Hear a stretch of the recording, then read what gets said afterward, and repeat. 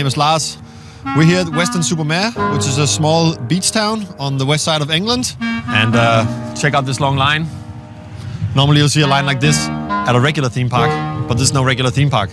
This is Dismaland. It's the latest project by Banksy.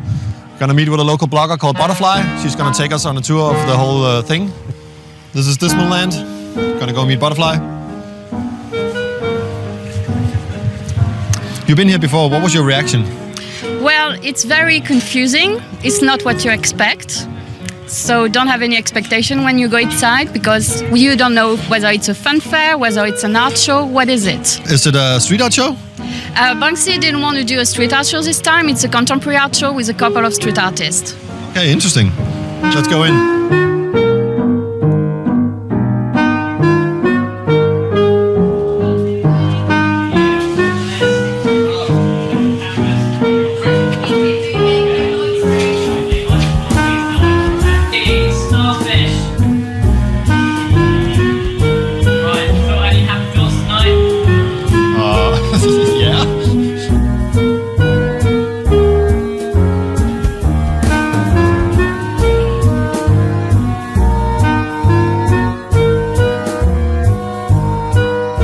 Special thing about this place is that it's not an artwork, but it's the atmosphere here. Yes, it Try, try to describe it for the people that are not here. well, it feels like a fun fair where you can be entertained, but at the same time, it's depressing and it's a real view on society, on a, uh, you know, the everyday subject that we should look at, uh, like a wake-up call on everything, like environment, politics. Yeah. It's like you're entertained, but it's a little bit dismal and depressing, and it's a little bit shit. At but the at the same time, it's the reality of Yeah. the society we're living on.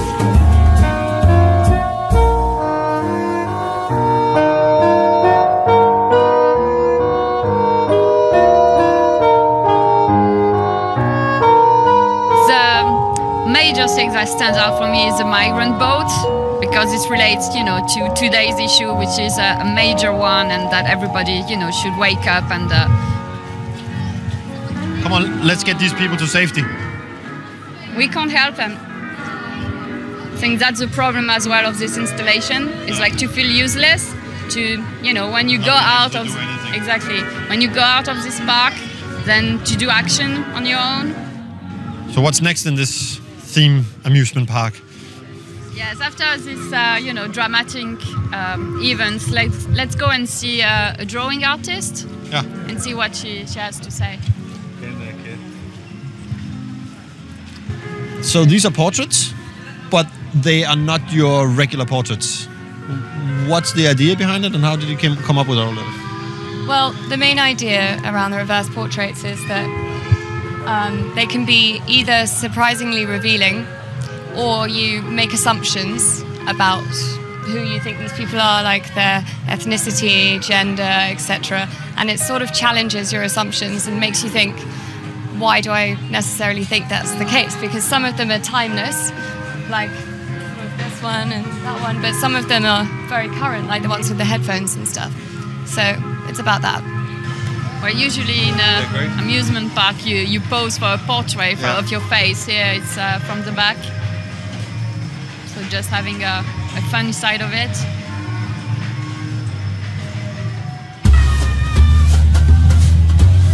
We can talk more about this installation. You say that. So this relates to the hot horse meat scandal, right? Yes. Um, basically, a couple of years ago, there were uh, some investigation that, uh, like the lasagne or meat that you would eat uh, was actually horse instead. Like they didn't label uh, correctly, like in order to make more profit. Exactly. So just to raise, uh, you know, the awareness of it again, because even so no one talk about it anymore, it's still happening. So that's one of the Yeah, it, wa- it was news for about five minutes, and then people forget about it again. Exactly. People switch channel, whereas this is still very important. You know, it's the food we eat. So This is pretty lively. yes, it's uh, cheerful and uh, sad at the same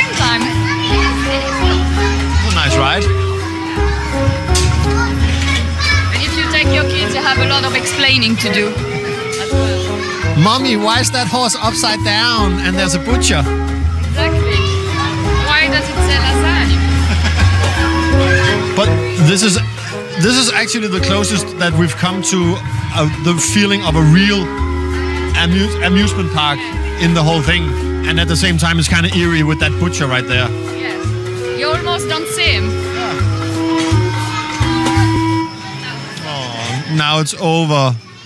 Back to reality again. Yeah. Back to eating horse meat. I love this music.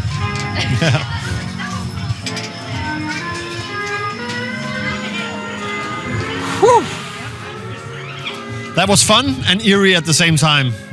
Are you hungry for some horse? No, not Um, at the moment. Me neither. No. Let's check out the next thing. The- seaside. Yeah, yeah, well, yeah. kind of. yeah. We're gonna see a, a lady attacked by seagulls. You want to chill? One person only. Cheers, mate.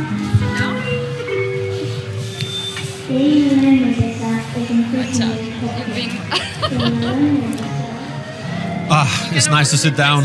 Dismaland is a little bit uh, exhausting and overwhelming, but it's nice to sit here at this table. No? It's a loop.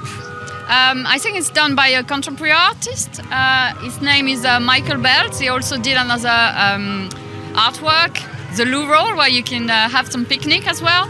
So the good thing about Dismaland is uh, you can see art, contemporary art. You don't need to go to a gallery, and uh, it's for everyone to see here. But Dismaland actually also has a normal gallery, right? Yes. This Uh, one? So, exactly. So behind us is the uh, entrance to the Contemporary Art Gallery, featuring, uh, I believe, like 58 artists, uh, including, uh, you know, the major um, UK artists like Damien Hirst. So we have like the beach ball floating above uh, razor-sharp knives which you know it's quite impressive to see here. So it's uh, it's worth you know having a look um, around. But apparently we were told that we cannot go and film inside. So I don't know if it's you know part of the dismal experience being disappointed. Very disappointing. you can see it from outside, but you cannot go and film it. Okay. So it's all secret for apparently for copyright reasons or something. Damn. Damn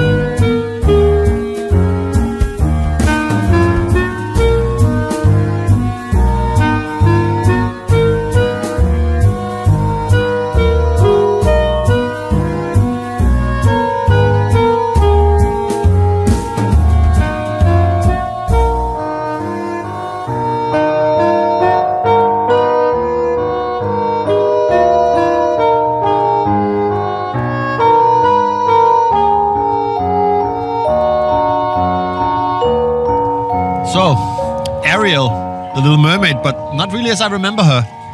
Yeah, she's uh, a bit dizzy, but actually, if you look at her in the, I would say, the nighttime, she appears fine. But the entire scenery is a bit uh, dizzy. The castle is all tear down, it's about to collapse. Um, everything is an installation by Banksy. And behind us, well, in front of us, we can see some artwork as well from uh, Axel Void. He just say it's mediocre. I think that sums it. It's nice and sunny. We can sit and relax for a second.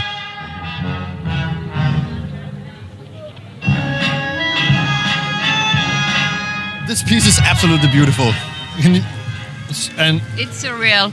I mean, it's a it's a real police van from uh, Ireland that had been transformed in um, I would say in a kid ride that goes into um, almost like a radioactive water, and it's spraying fontaine as well out of it.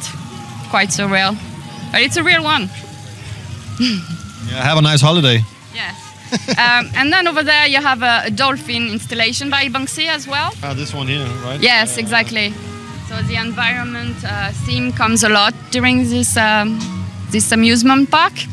You can see with the dolphin, but also with um, with the sea world coming out of the toilet as well. And then next to it, you have uh, also like uh, an artwork by Banksy. Yeah. Called like the, the fat cat who's having dinner while his family is standing next to him. You want to go look at it? Yes, Uh, let's have a look. We don't drop it. Don't want to drop it on the floor. While um, this one is um, is a mini golf, but it's uh, like any of the amusement from Banksy, you cannot win. Yeah, It's very annoying. and it's the mini golf. Exactly. The golf is full of oil. Exactly. And you see the spillover at, at the background. But if you come closer when you play, the ball gets lost and never comes back. Yeah, great. And so this is the Gorilla Workshop. Yes, Where one of them. with- okay. Yes. Let's go. Let's go. Hey, Bill. Can you still hear me? Yeah, I can hear you. Okay. Got everything. Uh, yeah. Our demonstration. Um, can you tell me why why is this in an art show? So art often, particularly this kind of art, has a background that's very political, and I think there's a lot of political stuff behind the show. I think it's really important to show the actual politics in a more direct way. We uh, there's like a magazine here, Strike Magazine. They've got like lots of activists write for them, lots of like different groups who are actually taking action on the kind of thing this art's talking about. And I think art and politics are inherently intertwined. Okay. And I think this means that people can get involved Yeah, after they've seen the art, been Yeah, sure. inspired, they can be involved in the politics. great. Well, how does it work? Okay, so here is our handy bus stop. Yeah. Um, we have got this pack of tools. Thanks to globalization, only five companies in the world own this kind of bus stop advertising space. Um, so these tools will get you into almost all of them. Um, we have three. They're really simple tools, but one of them only is for ad bus stops, so it's good to get them Yeah. in this pack. Here we have our very own bus stop. This poster on the bus stop is one that appeared around London in a series, which was a direct subversion of the Metropolitan Police's own adverts, which were promoting lies. So the SPG, a shady subgroup of Strike magazine, decided to replace those adverts with something more honest. We're in, we're showing people how they can do that too. So I'll do our demonstration in our bus stop. Um, they're really simple tools because they're just really simple Yeah. things Everyday things. everyday thing. So there's usually holes in the sides, little doors in the side. These tools will get you into all of that. This one's a little bit different. I'll just go up.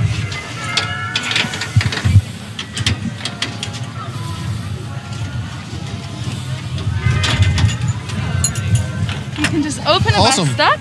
Make sure you have your high vis vest on. Don't cover your face. Don't wear a hood. Just look like it's your job. You can take down the poster, slide in your own design, and then close your bus stop and walk away. Perfect. So when people do street art, they take a liberty and they do something in society, and you could say that Yeah. this would be the same kind of thing. Yeah, I think this is really similar. I think there are, there's advertising spaces all around all of our cities. We, we're bombarded with these images. I think the street art movement is a way of like reclaiming public space with art, and I think this just puts them into a more professional looking space, and you can show a different kind of message in a different kind of way. But ultimately, it's a similar background. Actually, this kind of thing was um, originally done recently by a group called Brandalism, who replaced all the adverts with art um, and just simple art, no names. And I think it's very interconnected about public space and ownership. Well, basically, this is a one poster gallery. Yeah, exactly. Yeah, for art. For art. Or messages. Thank you. Thank you.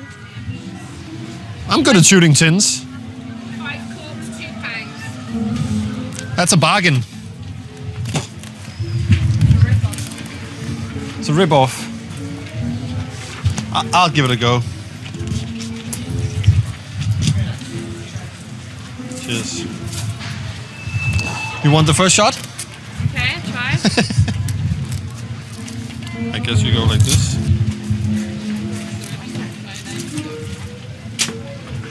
you can't win. No, but it's the same in pretty much every amusement park, right? So Yes. we're gonna go in and spin around and not win anything. Yes. It's an astronaut caravan. So it's supposed to be, I don't know, NASA approved or something like that. Ah, yeah, yeah. It says NASA on the side, Yes. so So, so we'll it's see for what, astronauts. we'll see what he does. Whether we're gonna fly or Okay. be dizzy. Okay, Let's okay, go. yeah, let's go. It's gonna stick us in there.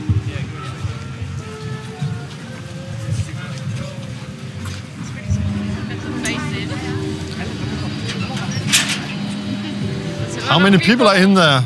Is there another entry? It's like a clown car. Like everybody keeps coming out.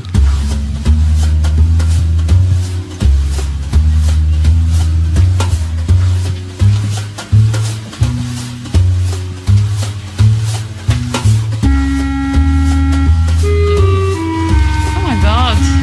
it's a special experience, but my head is uh,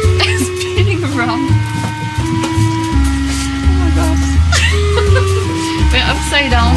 That's so weird.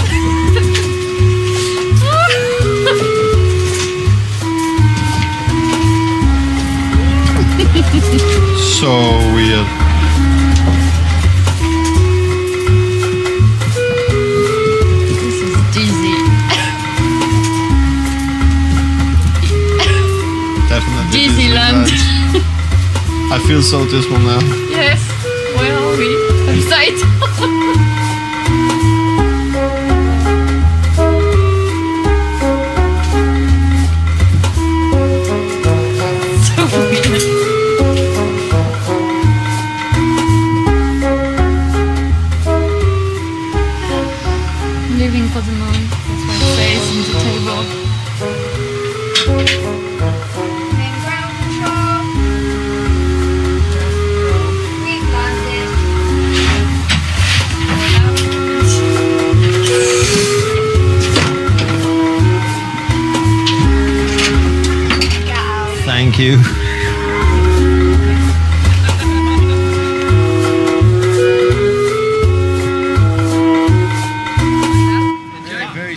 It was the best. That was one crazy ride.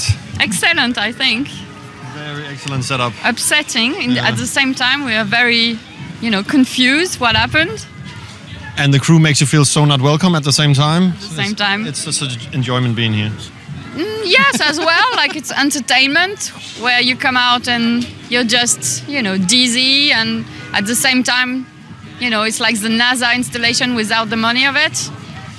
Yeah, it's it's a surprising. On top of that, it's you see it from the outside, Mm. and you come in, and it's something that you don't expect. Exactly. So which different. Is, yeah, which is very different.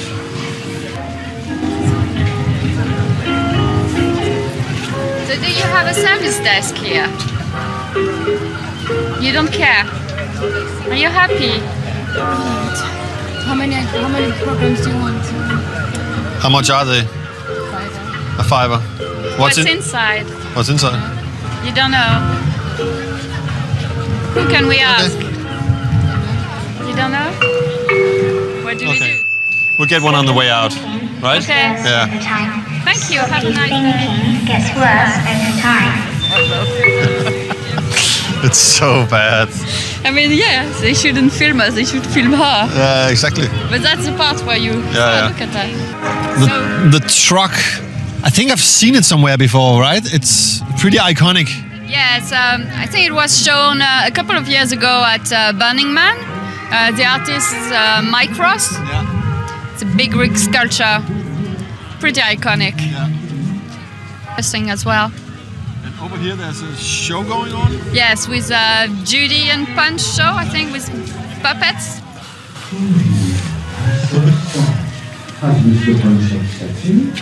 Has Mr. Punch? What's the matter? What a cat! He's lucky he could get you. I speak not in a sexist way, with thoughts lurid and wild. Not I indeed. I'm a new man, a what can you tell me about Punch and Judy? Um, I think she's talking about everyday issues as well, and what you see in the news in a in a comical way. It's a show mainly for adults, not for children, even though they're using puppets. Uh, it's a children's setting, but it's adult topics. Exactly.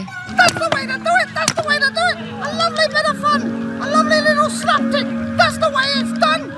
You want to take a photo of me doing the selfie hole? Here we're at an installation by by uh, Lush, and uh, I think the funny thing is that Lush has been going at Banksy quite a lot in his previous artwork, Yes. and all of a sudden you see Lush in a Banksy show. Like, why? Why? Yeah, it's very surprising. But I mean, I think Lush is clever like Banksy, so I can see why they would work together. Yes, um, they have the same kind of humor as well. So Yeah. So, so, so uh, children need money as well. yes, well, children need to have some loans so they can be, you know, have some debt for all their life. Ah, yeah, That's, great to uh, adapt all your life. The sarcasm of uh, Banksy with uh, this installation. So you go there and you can ask for a loan that is, I don't know, like uh, 3,000% interest Oh. for your pocket money. Watch out. Well, I can see there's already a long line to have these pocket money loans. It's very popular. Yeah. exactly. Yeah, why not? This was inspired by uh, the way that um, payday loan companies and, and credit companies in general use like child-friendly imagery to, firstly, to make it seem less like a dangerous kind of product to adults, but also to groom the next generation of um, customers, like to get the kids into it. And a lot of companies do that, like through. Um, uh, that's why you get toys in Happy Meals and stuff like that. It's like once you get get get the child, you can own the adult for the rest of their lives. Um, so, child advertising in general is something I find really uh, sinister, and um, especially when it comes to things like uh, high interest loans. This is a self-service loan repayment kiosk for the kids. It's at uh, child height, and uh, so the kids come in. They just need to swipe their uh, they swipe their credit card to uh, empty their bank account. Oh, didn't do it properly. It just removes the funds from your from your bank account. Oh, lovely. So no more money for the kids. Not anymore. No, You'll be now charged an empty bank account fee. This is a, uh fake toy I made, uh, multicolored bits of plastic, and is um, just kind of uh, like inspired a lot by the way uh, toy companies kind of come up with the uh, the toy before they come up with the story, Yeah. you know, uh, kind of thing. And uh, but the weird thing about this is. Kids want this, even though it's a deliberate piss take. Is get get them coming into the shop and going like, "Dad, multicolored bits of plastic. Like, can we get it? Like, how much and stuff like that." So it's like once you get enough of the things in the same place, like the logos and the, the colours and the face, stick a face on a bit of plastic, and kids want it essentially. Collect them all. Some are harder to get than others, so you end up with multiple ones of the Yeah, no- yeah. normal ones. Yeah, it's like football stickers as well. You know, you, you could sell a child a book full of football players, or you could sell them an empty book and make them buy the stickers to put it in for like and it costs you could you sixty quid. Yeah, of six pounds. Um, but yeah, there's also. Um, do some another some other financial products such as uh, bouncy castle mortgages. Um, your bouncy castle may be repe- repossessed if you do not keep up repayments on your mortgage. Yeah. But that's what everybody wants a bouncy castle. Well, yes. Yeah. Especially if you get you can refinance your uh, existing bouncy castle to pay for extensions or like improvements. So. Yeah, so we uh, we offer a free toy to kids to get them in the door basically, but they only get a free toy after three late repayment charges. So um, ends up costing around 450 pounds. Yeah, for, for a piece of plastic with eyes? That's um, actually felt and, it's and, felt. and some bits of plastic, Oh, yes. yeah, yeah, yeah. But the eyes are very important. Uh, You Uh, know you want it. this one's made by kids for kids as well, so you know it's uh, still cool. Get some child labor going. Excellent. Well, thank you. No problem at all. Do you know why why we're not allowed to go inside the castle? Um, so we have uh, we're not allowed to film inside the castle uh, because there is an installation by Banksy that is called the Cinderella carriage, the red carriage. So uh, she's upside down and there's a lot of uh, flashlights. So I guess that's why you're not allowed to uh, film it, basically. But that's what the people are going to see uh, inside. and it's uh, reminiscent of uh, Lady Diana death as well, Sure. with uh, a Disney twist, if you want. Yeah.